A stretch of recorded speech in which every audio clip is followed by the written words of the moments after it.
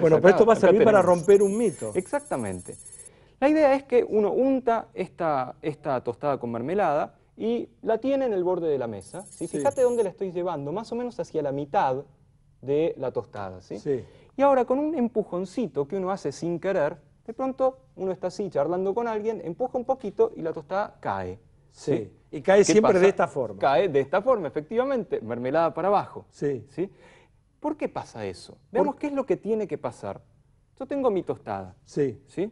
La tostada, si cae para abajo, quiere decir que da una vuelta. Por y lo cae de menos. esta manera. Por, lo menos, una vuelta. Porque pudo haber girado más Con veces. esta altura de mesa, en general, da una vuelta. Una sola vuelta. Entonces, Sí. la tostada, para que caiga para abajo, tiene que girar o 90 más de 90 grados, esto sería 90 grados, y menos de 270. Claro, porque si no daría vuelta, se entiende eso, ¿no? Si gira menos de 90 grados, cae así, Sí. mermelada para arriba. Sí. Y si gira más de 270 grados, cae de nuevo mermelada para arriba. Ajá. ¿sí?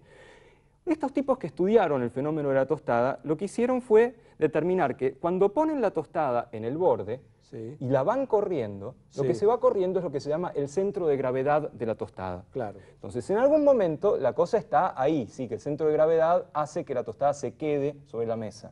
Empujándola un poquito. Cuando el centro de cae. gravedad deja de estar Deja de arriba, de estar- la, de arriba la de la tostada mesa, se cae. la tostada se cae. ¿sí? Entonces, el asunto es, para que caiga mermelada para arriba, lograr que dé más de una vuelta o más de 270 grados.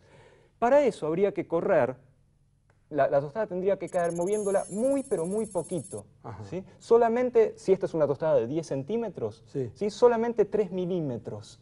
¿sí? Si se corre más de 3 milímetros antes de caerse, Sí. cae mermelada para abajo. Entonces,